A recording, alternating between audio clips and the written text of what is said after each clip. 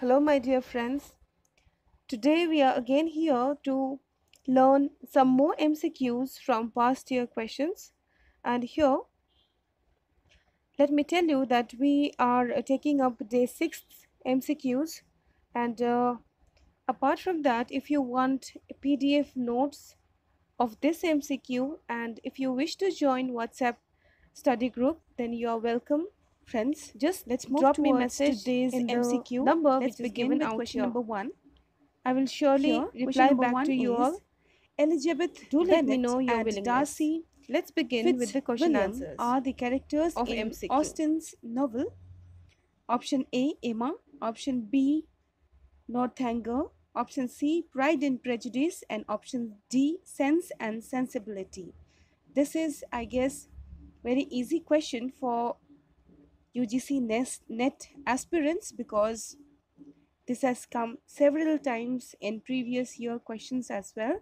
So here the answer is Pride and Prejudice undoubtedly which is written by Jane Austen in 1813. The novel follows the character development of Elizabeth Bennet, the dynamic protagonist of the book who learns about the repercussions of hasty judgments and comes to appreciate the difference between superficial goodness and actual goodness. The novel is set in rural England in early 19th century. Elizabeth Bennet is the protagonist in 1813 novel Pride and Prejudice which is written by Jane Austen. This point we have already discussed. Here the male protagonist that is Darcy is a wealthy owner in the novel.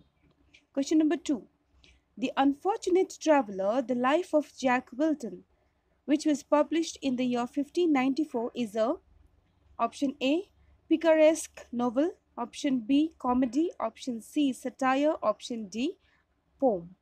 Here option A that is picaresque novel is the correct answer. The Unfortunate Traveller the Life of Jack Wilton, which was published in 1594, is a picaresque novel set during reign of Henry VIII of England. John, sorry, Jack Wilton is a page serving in the army of King Henry VIII of England when his adventures begin. At the end of the play, Jack and his newly wed Diamante flee out of the Sodom of Italy back towards the England, English encampment in France where the story first began. Question number three Consume my heart away, sick with desire, and fashioned to a dying animal. The above lines are taken from option A Felix Randal, option B. Sailing to Byzantium. Option C. Cooley and the Bally, Balili, sorry, in 1931. And option D. The Second Coming. Here your answer is Sailing to Byzantium. Let's see the highlighters of this question. Sailing to Byzantium is a poem by William Butler Yeats or W.B. Yeats, first published in 1929, collection The Tower. It comprises four stanzas in ottava rima, each made up of, of eight lines of iambic pentameter. It uses a journey to Byzantium as a metaphor for a spiritual journey. It describes the metaphorical journey of a man pursuing his own vision of eternal life as well as his conception of paradise. This was written in 1926. Question number is question number 4. Hieronimo is a character in option A, The Unfortunate Traveler, option B, The Spanish Tragedy, option C, Dido, the Queen of Carthage, option D, Robert Garnier's Cornelia. Here the answer is option B, the Spanish tragedy. Let's see the highlighters. The Spanish tragedy or sorry, Hieronimo is Mad Again. It is published in 1592, a revenge tragedy often referred to the work of Shakespeare, Ben Jonson and Marlowe. It was staged at the Rose for Philip Henslowe in 1592. Ben Jonson mentioned Hieronimo in introduction in his Cynthia's Revels, which was published in the year 1600 and quotes from the play In Every Man in His Humour, that was published in the year 1598. Thomas Dekker suggested that Ben Jonson in his early days acted himself as Hieronimo. T.S. Eliot quoted the title and the play in his poem The Wasteland. Let's move to the question number 5. Coleridge's The Rime of the Ancient Mariner is a poem in option A 8 parts, option B 9 parts, option C 7 parts and option D uh, 6 parts. Here the answer is 7 parts. Let's see the highlighters. It is the longest major poem by the English poet Samuel Taylor Coleridge. This was written between 1797 to 1798. It was published in 19 sorry 1798 in the first edition of Lyrical Ballads. Relates the experiences of a sailor who has returned from a long sea voyage. Question number 6 which of the following statement is not correct about Bacon's essays? Option A. His essay was published in three editions in 1595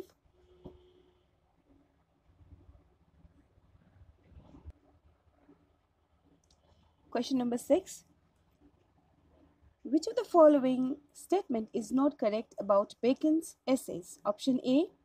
His essay was published in three editions in 1595, 1612 and 1625. The first edition contains 10 essays and the second contains 38 essays that is in option B. Option C, his edition of essays decreased in each edition.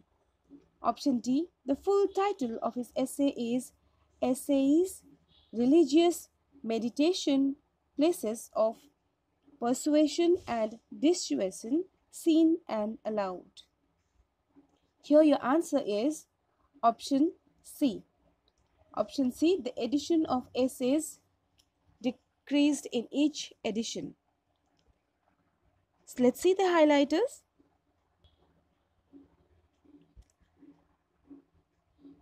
Essays which were published in different editions were in 1595, 1612 and 1625.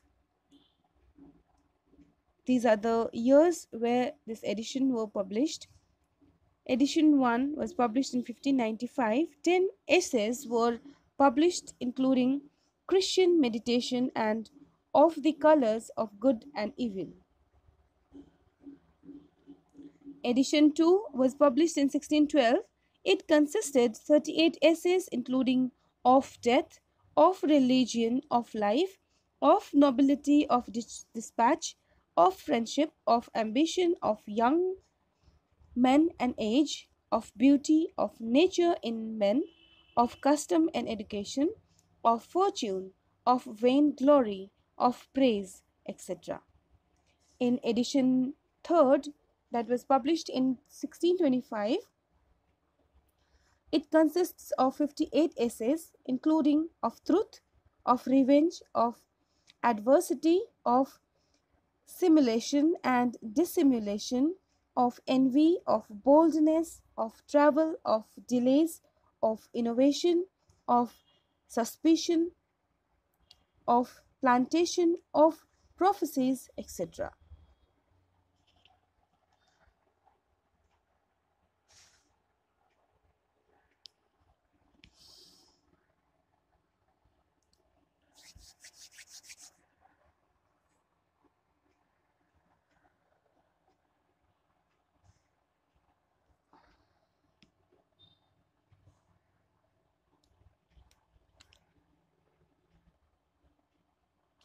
Let's see the highlighters.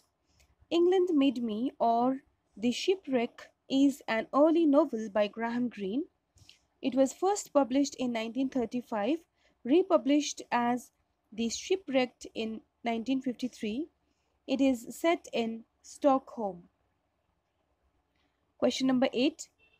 Which of the following play was the cause of Wycherley's release from imprisonment for debt?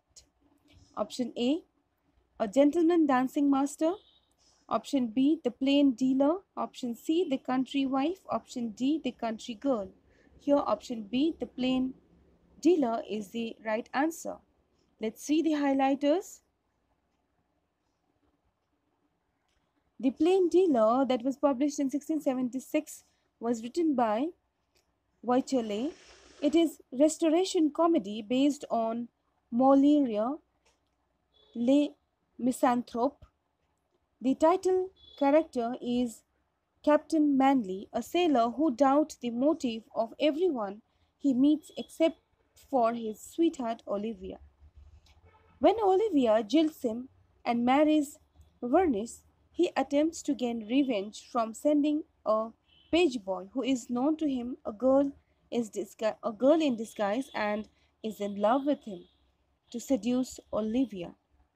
When truth of Page's identity is discovered, Manly marries her. In 1681, when the Duchess died, he was imprisoned for debt. Debt. But after the accession of John James II in 1685, when he watched the performance, when he watched the performance of the plain dealer, he arranged Wycherley's release. Question number 9. The Divine Comedy is divided into three canticas, each consisting of option A 30 cantos, option B 33 cantos, option C 24 cantos, option D 28 cantos. Your answer is option B 33 cantos. Highlighter says the Divine Comedy, Italian La Divina Commedia, original name La Commedia, long narrative poem written in Italian circa between 1308 to 1329 by Dante. Divided into three canticles Inferno, Purgatorio, and Paradiso. Each canticle consists of 33 cantos except the first which has 34 thus entire poem is made up of 100 cantos. Next question number is question number 4 hieronimo is a character in option a the unfortunate traveler. Option b the spanish tragedy. Option c dido the queen of carthage Option D, Robert Garnier's Cornelia. Here the answer is option B, the Spanish tragedy. Let's see the highlighters. The Spanish tragedy or sorry, Hieronimo is Mad Again. It is published in 1592, a revenge tragedy often referred to the work of Shakespeare, Ben Jonson and Marlowe.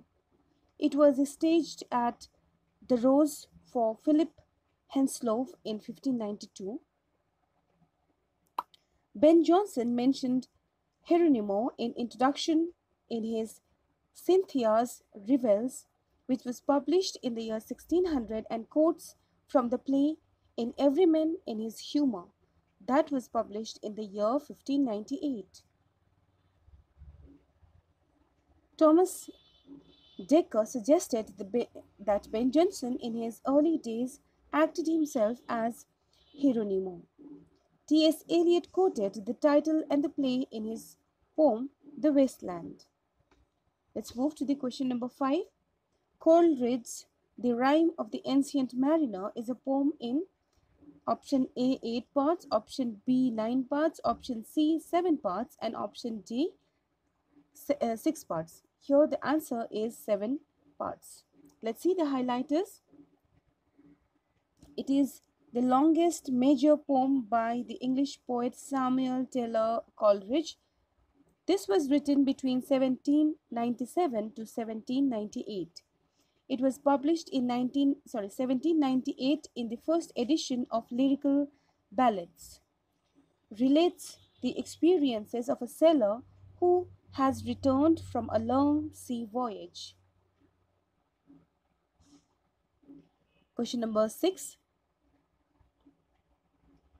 which of the following statement is not correct about Bacon's essays? Option A. His essay was published in three editions in 1595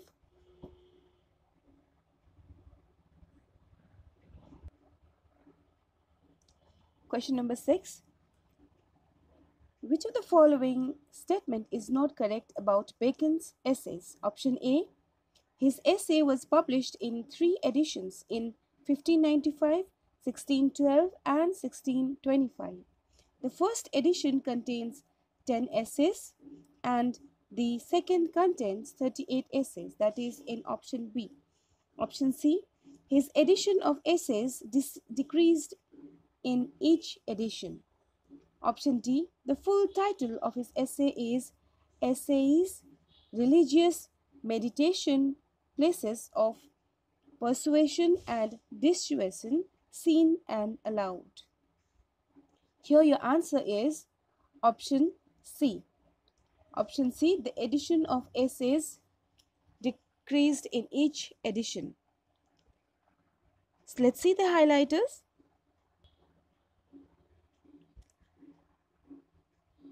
Essays which were published in different editions were in 1595, 1612 and 1625. These are the years where this edition were published. Edition 1 was published in 1595. 10 essays were published including Christian meditation and Of the Colors of Good and Evil. Edition 2 was published in 1612.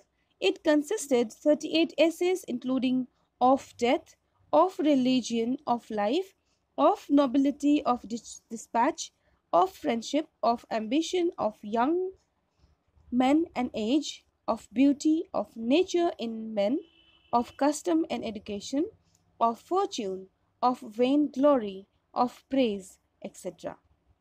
In edition third, that was published in 1625, it consists of 58 essays, including of truth, of revenge, of adversity, of simulation and dissimulation, of envy, of boldness, of travel, of delays, of innovation, of suspicion, of plantation, of prophecies, etc.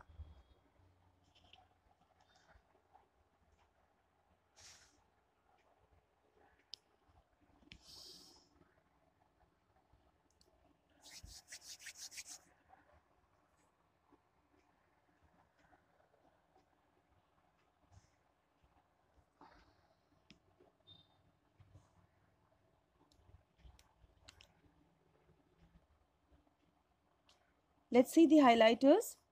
England Made Me or The Shipwreck is an early novel by Graham Greene. It was first published in 1935, republished as The Shipwrecked in 1953. It is set in Stockholm. Question number 8. Which of the following play was the cause of Wycherley's release from imprisonment for debt? Option A, a gentleman dancing master. Option B, the plain dealer. Option C, the country wife. Option D, the country girl. Here option B, the plain dealer is the right answer. Let's see the highlighters. The Plain Dealer that was published in 1676 was written by Wycherley. It is restoration comedy based on Molière Les Misanthrope. The title character is Captain Manly, a sailor who doubts the motive of everyone he meets except for his sweetheart Olivia. When Olivia jilts him and marries Vernis, he attempts to gain revenge from sending a page boy who is known to him a girl is a girl in disguise and is in love with him to seduce Olivia. When truth of Page's identity is discovered, Manly marries her. In 1681, when the Duchess died, he was imprisoned for debt. Debt. But after the accession of John James II in 1685, when he watched the performance, when he watched the performance of the plain dealer, he arranged Wycherley's release. Question number 9. The Divine Comedy is divided into three canticas, each consisting of option A 30 cantos, option B 33 cantos, option C 24 cantos, option D 28 cantos. Your answer is option B 33 cantos. Highlighter says the Divine Comedy, Italian La Divina Commedia, original name La Commedia, long narrative poem written in Italian Circa between 1308 to 1329 by Dante. Divided into three canticles Inferno, Purgatorio, and Paradiso. Each canticle consists of 33 cantos except the first which has 34 thus entire poem is made up of 100 cantos. Which among the following option is not correct about william congreve? Options are option a he was member of kit kat club. Option b the way of the world in his wife is his five act play written in 1700 he was specialized in sexual comedy of manners he was the disciple of Dryden. Here, option D is the correct answer. He was the disciple of Dryden. Let's see the highlighters.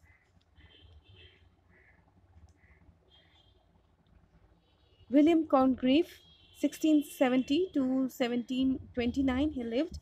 He was an English playwright and poet born in Bardsey, West Yorkshire, England. He met at Kilkenny College with Jonathan Swift, who remained as his lifetime friend. He became disciple of Dryden. Congreve never married. By the age of 30, he had written four comedies, including The Way of the World, Love for Love, and one tragedy, The Morning Bride. He was specialized in sexual comedy of manners. He was member of Kit Kat Club. Let's move to the next question. Question number 12. Which book of John, sorry, George Meredith was published in 1879? Your options are The Egotist, Emilia in England, The Adventures of Harry Richmond, and option D, Victoria. Here, answer is The Egotist. Let's see the highlighters. The Egotist is a tragic comical novel by George Meredith published in 1879. Question number 13. Arranged sorry, arrange William Congreve's work in chronological order. Option A. The Old Bachelor, Love for Love, The Way of the World, The Double Dealer.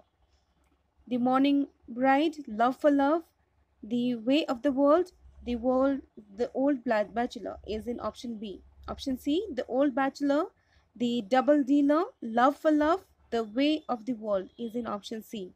Option D, the morning bride, the old bachelor, love for love, the way of the world. Here, option C is the correct answer. Let's see when these books were published. Famous works of Congreve. The Old Bachelor was published in 1693 second book, that is Double Dealer, was published in 1694. Love for Love was published in 1695. The Morning Bride was published in 1697. The Way of the World was published in 1700. Other works were Epistle to Lord Halifax, Incognita, Love and Duty Reconciled, and this was his only novel. Question number 14. Oroonoko is a play written in the year option A 1677, option B 1688, option C 1788 and option D 1668. Here option B is the correct answer that is 1688. Let's see the highlighters.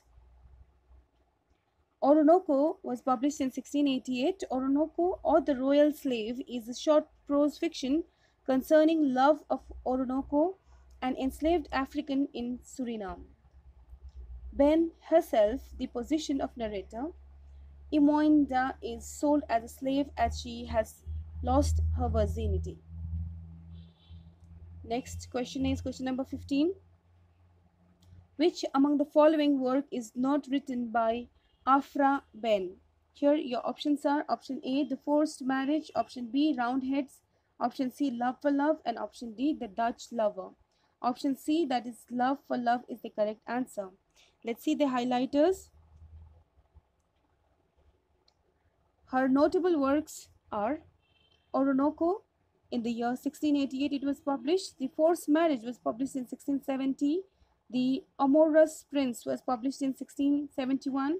The Dutch Lover was published in 1673. Abdelazer was published in 1676. The Rover Part 1 and 2.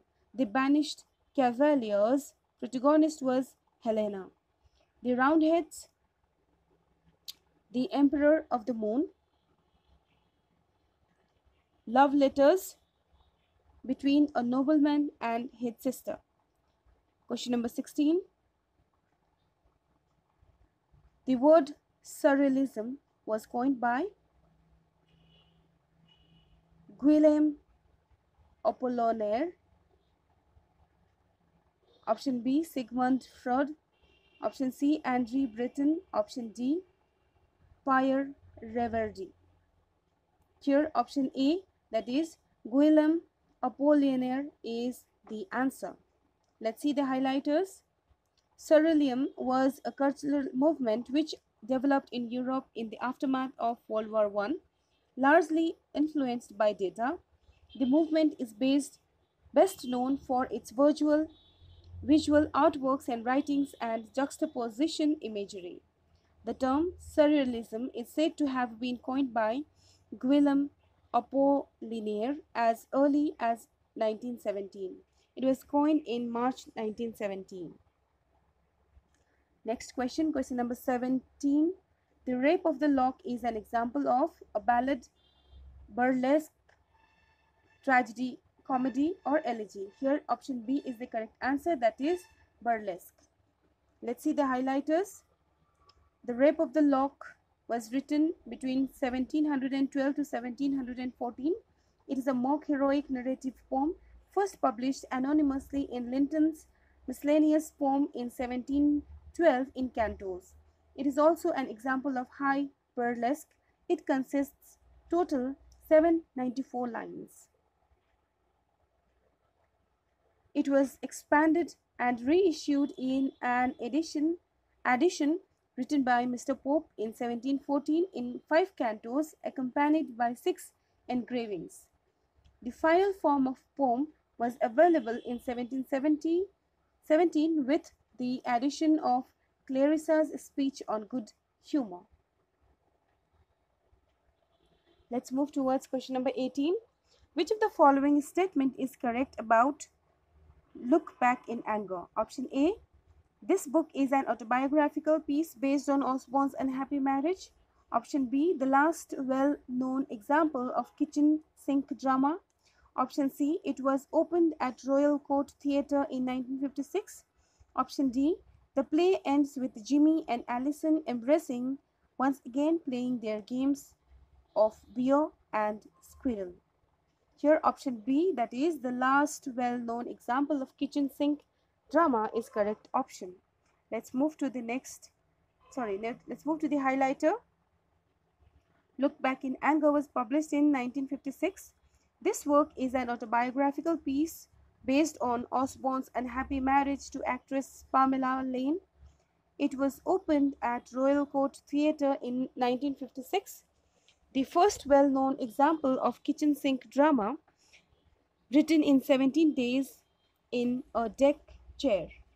Osborne wrote a sequel in 1989 to, be, to the play entitled Deja Vu, which was first produced in 1992 in the play Jimmy Porter is known as J.B. in the middle age living with daughter Alison.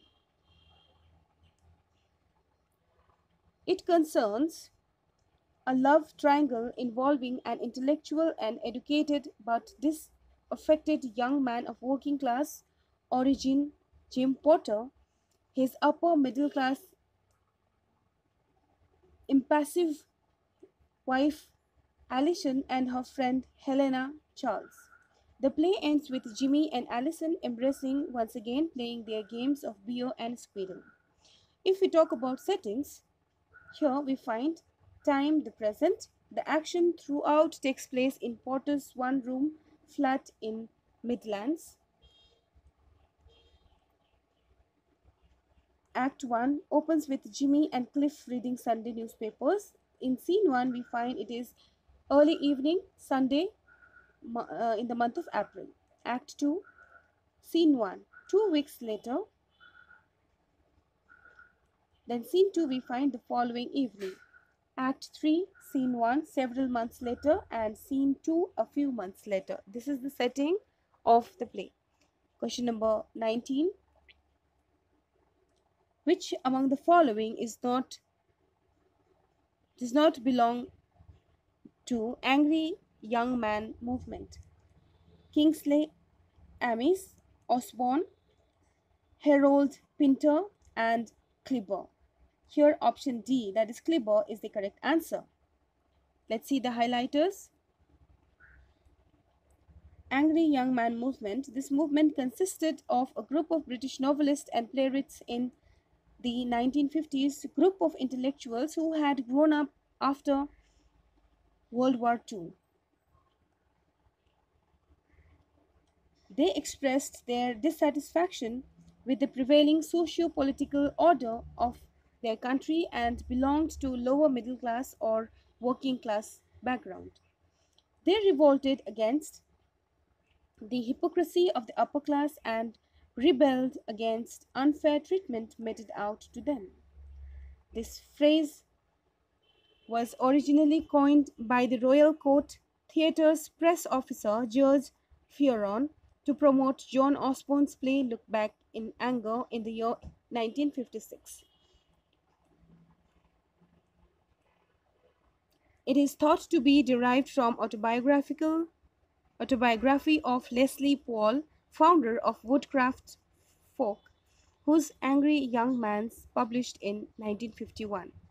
Initial members of this group were John Osborne and Kingsley Amis, but later on these writers also joined Harold Pinter, Philip Larkin, John Wain, Alan Sillitoe, John Braine, and John Arden.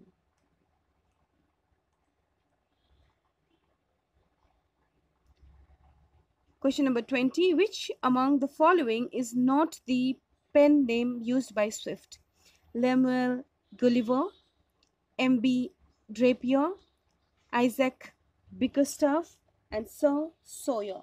Here option D, Sir Sawyer is the correct answer. Let's see the highlighters. These three are the nicknames which Jonathan Swift used in his writings. M.B. Drapier, Lemuel Gulliver and Isaac Bickerstaff. Next is next question is question number 21. The Battle of the Books. The Battle of the Books is a short satire by Swift published as a part of which of the following work? Option A, Tale of a Tub. Option B, Drapier's Letter. Option C, The Modest Proposal. Option D, Gulliver's Travels. Here, option A, that is A Tale of the Tub, is correct answer. Let's see the explanation. The Battle of the Books.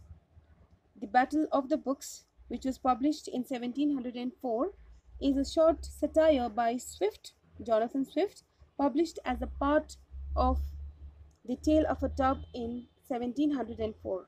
It is an allegorical, mock heroic story set in Royal Library of St. James in London.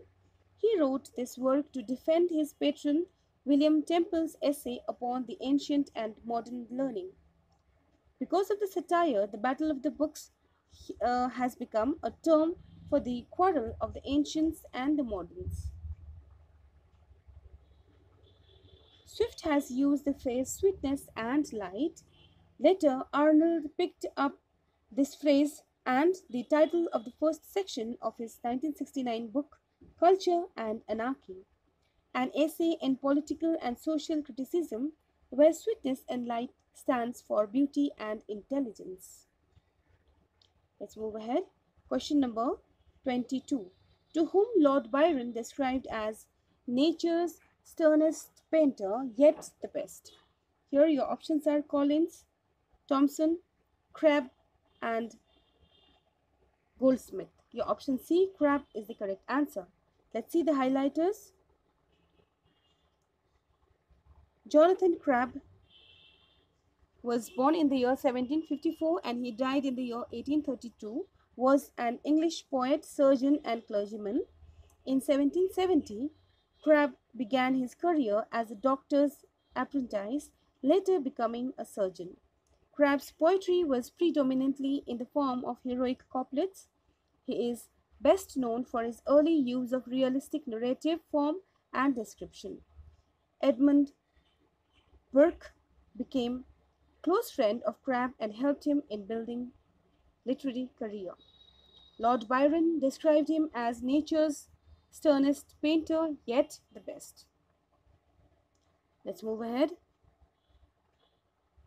Question number 23. The term difference has been coined by Sigmund Freud, Jacques Lacan, Jacques Derrida, and Guattari.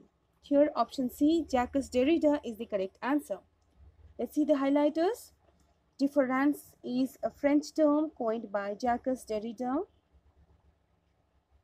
It is a central concept in Derrida's deconstruction, a critical outlook concerned with the relationship between text and meaning. The term difference between difference the term difference means difference and deferral of meaning. Question number 24. Heteroglossia is a term coined by Roman Jakobson, Gayatri Spivak, Mikhail Bakhtin, and Homi Bhabha. Here option C that is Mikhail Bakhtin is the correct answer. Let's see the highlighters. The term heteroglossia translates the Russian raznoresi, a term coined by Bakhtin in essay discourse in the novel. Last question is question number 12. Chutneyification is a term coined by Salman Rushdie, R.K. Narayan, Tagore or Kamala Das. Here option A, Salman Rushdie is the correct answer. Friends, we find English, that is Indian and English, mixture of Indian and English culture here. And uh, this he was very apt in using it. Let's see the highlighters. Chutneyification, coined by Salman Rushdie in his novel Midnight's Children, which was published in 1981, the adoption of Indian element into the English language or culture, meaning the process of becoming chutney. So here we find Indian feel in English writing. That is why this two language are the, the, the, two words from two languages are mixed and made one and Salman Rushdie was expert in doing that. By this we have completed day 6 MCQs. Wait for day 7. We will meet soon. Thank you friends. All the best for your examination.